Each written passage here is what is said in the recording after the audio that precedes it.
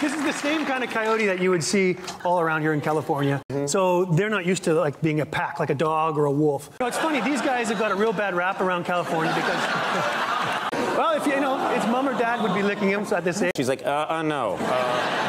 It's called an, uh, an African southern ground hornbill. He took one peek and he was like, I think not. it's a fun show. Okay. Thing distracts a snake like a baby head. Yeah. Why do I have to keep its attention? You're using me to di- distract the deadly snake. So this is a king cobra. There we go. Why are you? That's what I want to ask.